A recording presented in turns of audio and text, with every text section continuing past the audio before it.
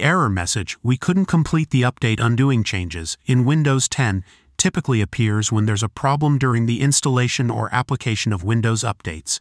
This message is part of the Windows Update troubleshooting process and indicates that the system is attempting to revert changes made during a failed update.